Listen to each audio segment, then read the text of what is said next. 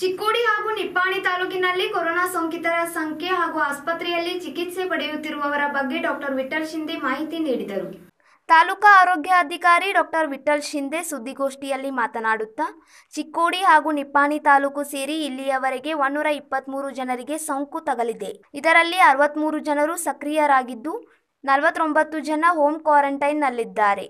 ಹದಿನಾಲ್ಕು ಜನರು ಸಾರ್ವಜನಿಕ ಆಸ್ಪತ್ರೆಯಲ್ಲಿ ಚಿಕಿತ್ಸೆ ಪಡೆಯುತ್ತಿದ್ದಾರೆ ಎಂದು ಮಾಹಿತಿ ನೀಡಿದರು. ಪಾಸಿಟಿವ್ ಬಂದ ತಕ್ಷಣ ನಮ್ಮ ಆರೋಗ್ಯ ಇಲಾಖೆ ಮುಖಾಂತರ ಅವ್ರನ್ನ ತಪಾಸಣೆ ಮಾಡ್ತೀವಿ. ಅಂದರೆ ಅವರಿಂದ ಅಲ್ಲಿ ನಮ್ಮ ಸಾರ್ವಜನಿಕ ಆಸ್ಪತ್ರೆಗೆ ಬಂದ ತಕ್ಷಣ ಇತ್ತಪ್ಪ ಅಂತಂದ್ರೆ ನಾವು ರ್ಯಾಟ್ ಟೆಸ್ಟ್ ಮಾಡ್ತೀವಿ. ಅಥವಾ ರ್ಯಾಟ್ ನೆಗೆಟಿವ್ ಬಂತಂದ್ರೆ ಆರ್ಟಿಫಿಷಿಯಲ್ ಟೆಸ್ಟ್ ಕೊಡ್ತೀವಿ. ಅದ್ರ ಪ್ರಕಾರ ಅವರಿಗೆ ಟ್ರೀಟ್ ನಮಗೆ ಪಾಸಿಟಿವ್ ಬಂದ ತಕ್ಷಣ ಸೊ ಅವ್ರಿಗೆ ನಾವು ಮೊದಲು ಆ ವ್ಯಕ್ತಿಯನ್ನು ನಾವು ಟ್ರೀಟ್ಮೆಂಟ್ ಕೊಡ್ತೀವಿ. ಟ್ರೀಟ್ಮೆಂಟ್ ಕೊಡೋಕ್ಕಿಂತ ಮುಂಚೆನೇ ಅವ್ರನ್ನ ಪಲ್ಸ್ ಆಕ್ಸಿಮೀಟರ್ ಚೆಕ್ ಮಾಡ್ತೀವಿ. S P O more than ninety four ಇತ್ತು. ಬೇರೆ ಕಂಡೀಷನ್ಸ್ ಎಲ್ಲ ಫಿಟ್ ಇತ್ತಪ್ಪ ಅಂತಂದರೆ ಅವ್ನು ಹೋಮ್ ಐಸೋಲೇಷನ್ ಅಲೋ ಮಾಡ್ತೀವಿ ಫಸ್ಟ್ ಹೋಮ್ ಐಸೋಲೇಷನ್ ಮನೆಯಲ್ಲಿ ಇರ್ತಕ್ಕಂಥ ವ್ಯವಸ್ಥೆ. ಅವ್ನು ಮನೇಲಿ ಇರಬೇಕಾದ ಕೆಲವು ಕಂಡೀಷನ್ಸ್ ಅದಾವೆ. ಅವಾಗೆ ಅವನು ಸ್ವಂತ ಎಲ್ಲ ನಾವು ಹೇಳ್ತಕ್ಕಂಥ ಪಾಲನೆ ಮಾಡಬೇಕು. ಒಂದನೇದು ಎರಡನೇದು ಅವ್ರಿಗೆ ಯಾರು ಕೇರ್ ಟೇಕರ್ ಅವ್ರ ಮನೆಯಾಗೆ ಇರಬೇಕು ಒಬ್ರು, ಯಾರಾದ್ರು. ಆ ಕೇರ್ ಟೇಕರ್ ಇರಬೇಕು ಅಂತ ತಿಳ್ಕೊಂಡು ಹ್ಞೂ ಅಂತಂದರೆ ಮತ್ತು ಅವ್ರು ಬಾತ್ರೂಮ್ ಸಪ್ರೇಟ್ ಇರಬೇಕು, ಮನೆ ಸಪ್ರೇಟ್ ಒಳಗೆ ಇರಬೇಕು. ಹಂಗಿತ್ತಂತಂದರೆ ಮೊದಲು ಹತ್ತು ದಿವಸ ಅವ್ನ ಮನೆಯಾಗಲೇ ಇರಬೇಕು. ಹೋಟೆಲ್ ಒಂದೇ ರೂಮ್ನಲ್ಲಿ ಇವನ್ ಫ್ಯಾಮಿಲಿ ಮೆಂಬರ್ಸ್ ಇದ್ರು ಆಗಬಾರ್ದು. ರಿಸ್ಟ್ರಿಕ್ಷನ್ ಹಾಕಿ ಅವನ್ನ ಅಲೋ ಮಾಡ್ತೀವಿ. ಅದೇ ರೀತಿ ನಮ್ಮ ಅಲ್ಲೇ ಸಂಬಂಧಪಡ್ತಕ್ಕಂಥ ಆರೋಗ್ಯ ಕಾರ್ಯಕರ್ತರಿಗೆ ನಾವು ತಿಳಿಸಿರ್ತೀವಿ ಮತ್ತು ಕಾರ್ಯಪಡೆ ಇರ್ತಾ ಕಾರ್ಯಪಡೆಗೂ ಅದಕ್ಕೆ ನಾವು ತಿಳಿಸಿರ್ತೀವಿ ಅದ್ರ ಪ್ರಕಾರ ಅವ್ನು ಬಂದ ಟ್ರೀಟ್ಮೆಂಟ್ ಓರ್ಲಿ ಟ್ಯಾಬ್ಲೆಟ್ ಅಂತ ಕೊಡ್ತೀವಿ. ಅದು ಏನು ಬೇಕೋ ಇರ್ತಕ್ಕಂಥ ವೈದ್ಯರು ಪೇಷಂಟ್ ಟ್ರೀಟ್ಮೆಂಟ್ ಕೊಡ್ತಾ ಅದ್ರ ಪ್ರಕಾರ ಕೊಡ್ತೀವಿ.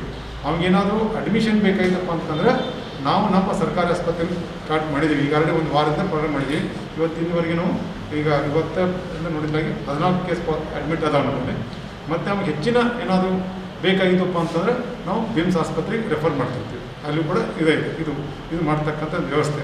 ಇನ್ನು ಮನೆಯಲ್ಲೇ ದಿನಾಲೂ ಅವು ನಮ್ಮ ಆರೋಗ್ಯ ಕಾರ್ಯಕರ್ತರು ಮತ್ತು ಅಲ್ಲಿ ಕಾರ್ಯಪಡೆ, ಅದರಿಂದ ಪಿ ಡಿ ಅವರು ಬಿ ಎ ಅವರು, ಅಂಗನವಾಡಿ ಕಾರ್ಯಕರ್ತರು ಮತ್ತು ಆಶಾ ಕಾರ್ಯಕ್ರಮ ಟೀಮ್ ಇದೆ. ಅವ್ರು ಕೂಡ ಅಲ್ಲಿ ಮಾಡ್ತಿರ್ತಾರೆ. ಮಧ್ಯದಲ್ಲಿ ಏನೋ ತೊಂದರೆ ಆಯ್ತಪ್ಪ ಅಂತಂದರೆ ಅವನು ನಮಗೆ ಕೇರ್ ಟೇಕರ್ ನಾವು ಅಲ್ಲಿ ಸಂಬಂಧಪಟ್ಟತಕ್ಕಂಥ ವೈದ್ಯಾಧಿಕಾರಿಗಳು ಆಶಾ ಕಾರ್ಯ ಇನ್ಫಾರ್ಮೇಷನ್ ಮಾಡ್ತಾರೋ. ಅವಾಗ ನಾವು ಶಿಫ್ಟ್ ಮಾಡ್ತಕ್ಕಂಥ ವ್ಯವಸ್ಥೆನೂ ಕೂಡ ಮಾಡ್ಕೊಂಡಿದ್ದೀವಿ. ಇಷ್ಟು ನಾವು ವ್ಯವಸ್ಥೆಯನ್ನು ಮಾಡ್ಕೊಂಡು ಇಲ್ಲಿವರೆಗೆ ಎಷ್ಟು ರೋಗಿಗಳು ಎಷ್ಟು ಗುಣಮುಖರಾಗ್ಯಾರ ಎಷ್ಟು ಮಂದಿ ಇಲ್ಲಿವರೆಗೆ ನಮ್ಮ ಚಿಕ್ಕೋಡಿ ತಾಲೂಕಿನಲ್ಲಿ ನಾವು ಏಪ್ರಿಲ್ ಒಂದನೇ ತಾರೀಕಿನ ಹೊಸದಾಗಿ ತೊಗೊಂಡ್ರಪ್ಪ ಅಂತಂದ್ರೆ ಒಂದೂರ ಇಪ್ಪತ್ತ್ಮೂರು ಕೇಸು ವಸ್ತು ವರದಿ ಬಂದಿದೆ.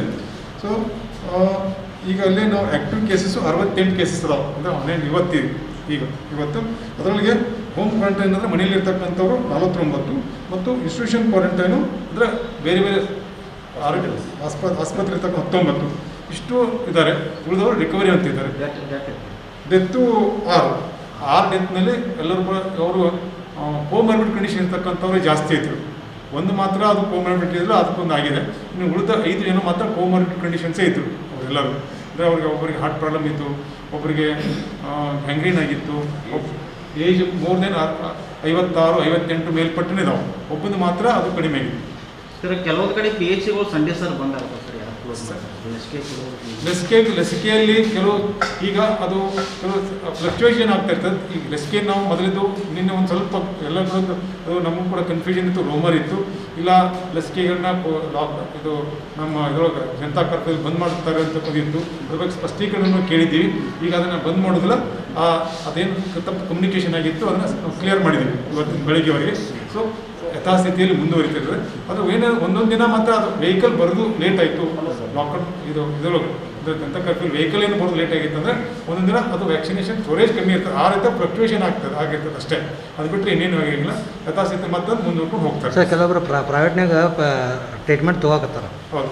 ಅಂಥವ್ರಿಗೆ ಸರ್ಕಾರದಿಂದ ಬೇಕಂತ ಸಹ ನೀವು ಸಹಕ ಸಹಾಯ ಮಾಡ್ತೀರಿ ಅವರು ಆಲ್ರೆಡಿ ಪ್ರೈವೇಟ್ನಾಗ ತೊಗೋತಿರ್ತಾರೆ. ಇಲ್ಲ. ಇದರ ಪ್ರಕಾರ ನಾವು ಎರಡು ಭಾಗಗಳನ್ನ ಮಾಡ್ತೀವಿ ಒಂದು ಸರ್ಕಾರಿ ಆಸ್ಪತ್ರೆ ಕೊಡ್ತಕ್ಕ ಉಚಿತವಾಗಿ ಟ್ರೀಟ್ಮೆಂಟ್ ಇರ್ತದೆ ಒಂದು.